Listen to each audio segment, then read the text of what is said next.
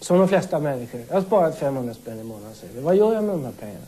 Jo, jag sätter in dem i någon fond eller någon pension eller någonting. Bank eller inte vet jag. Jag köper kanske aktier i Ericsson Astra. Och alltihopa det där är väldigt respektabelt. Men det innebär att den där 500 sticker iväg upp i finansvärlden. Om pensionspengarna som gör dig arbetslös i reportrarna ikväll.